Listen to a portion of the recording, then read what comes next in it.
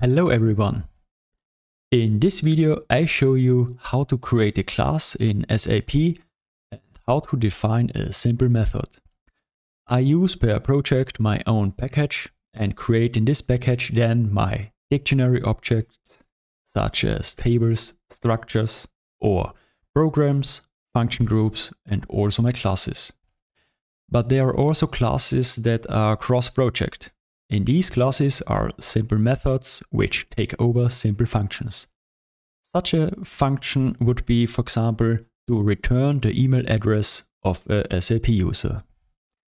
So let's start with the transaction SE80.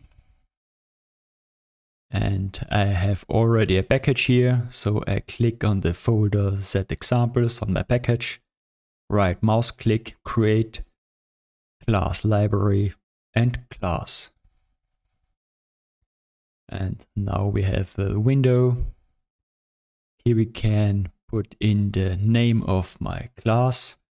The name of the class should be in the customer namespace, starting with Ypsilon or z. And the naming convention is set cl underscore. And I name my class examples global. Now I write here a simple description, global example class. Class is public. Yes, the default values are okay. Then we click on the button save. Then we we see the package and we need a, a transport request if it's not local. And yes, this is our ABAP code example request. We click on OK. And then we see an editor with the method stub selected by default. And we can uh, define here a method. And I call it get hello world.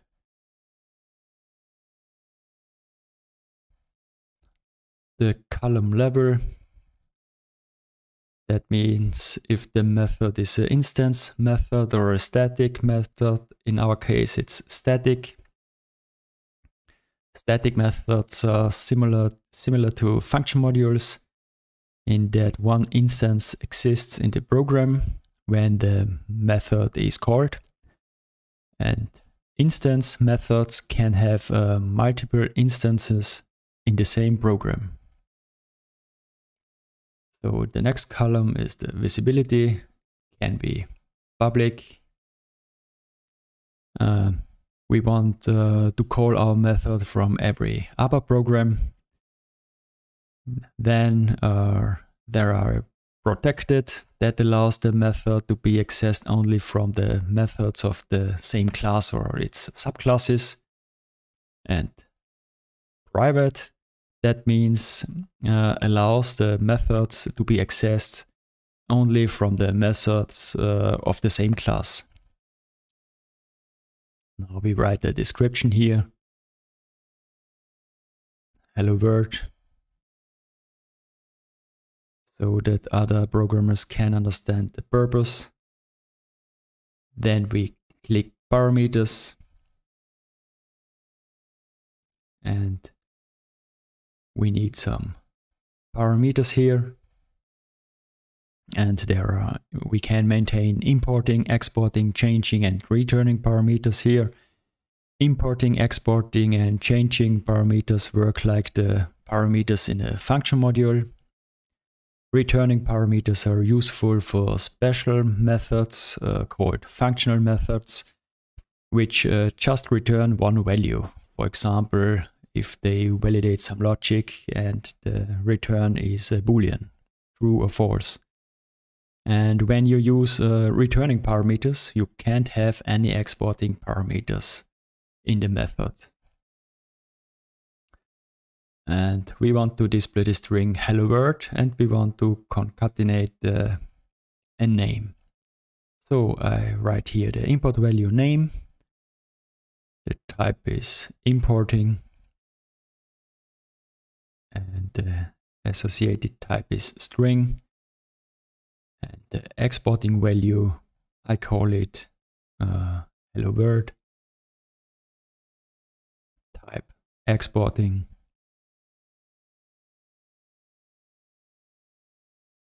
And the type is here also string. And you can write here a default value or a description, but we don't need this in this example. Then we click on activate and we see uh, different objects. Then we continue, we activate this. And now we click on the button source code. And this is the source code of our method. And we see here the, if we click on the button signature, we see the importing and exporting parameters of our method. And now we want to uh, export our export value. And so we put here a string. So we write hello world. And then write here the string hello world.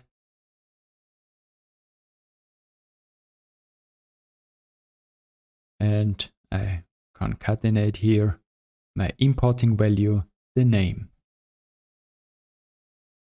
iv name.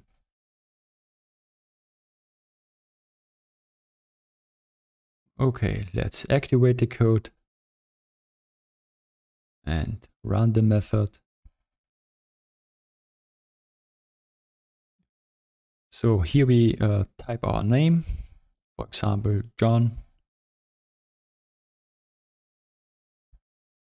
And go back. And we can run the method and we see this is our exporting value, our return. But there is a blank missing. So we go back to the code and we use here uh, a string template.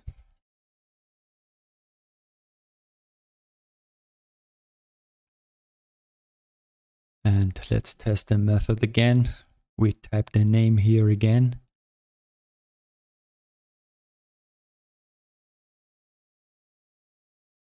And we see now the blank is displayed. Okay, that was the simple, simple implementation of a method with an importing parameter and an exporting parameter. And uh, the next step, uh, I want uh, call this method in the program and uh, have an empty program here. And now I want to call my method. I click on the button pattern, then ABAP object patterns, and I type here my class, ZCL examples global, and then on method. Because there is only one method, it is proposed immediately. So click on the button OK. And this is our code snippet, the method call. So and now we type here our name, for example, John. And we make an inline declaration of our export value. So um, I use the variable lv hello world. And last, I want to display this value. So I write lv hello world. Ready print and activate. So let's run the program. Okay, we see this is the export value of our method. The program calls the method. This is the export string. Yes, that was a very simple implementation of a method. And if you want to add some more methods, click on the folder methods, right mouse button, create, and you, we can set here the visibility, the type of the method and the, the method name and description and so on, parameters and so on. Yes. Hope you liked the video. I like to use uh, such global methods to encapsulate uh, simple functions. These methods can then also be used by colleagues of mine.